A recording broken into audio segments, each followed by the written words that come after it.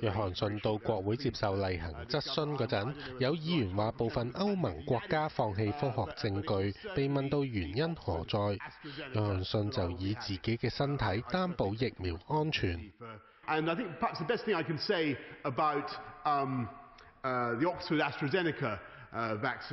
And I think perhaps the best thing I can say about um, uh, the Oxford AstraZeneca uh, vaccine uh, program is that uh, I'm, I finally got news that I'm going to have my own uh, jab, Mr. Speaker, very, very shortly. I'm pleased to uh, discover I'm, I don't know whether the right honourable gentleman's had his. He's had his, uh, but, uh, but it will certainly be Oxford AstraZeneca that I will be having. 卫生大臣夏国贤亦都强调，阿斯利康疫苗安全，专家亦都身体力行。 To anybody who still has concerns or any doubt about getting the jab, we know that the vaccine is safe and helps make you safe. It gives you this protection. Both vaccines work incredibly effectively.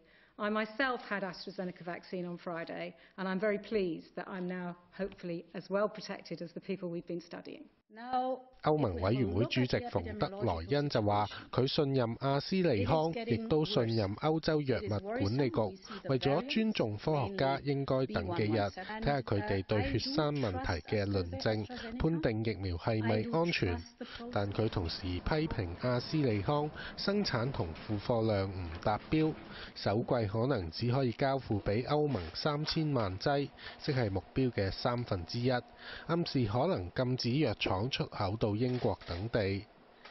有線電視記者李健生報道。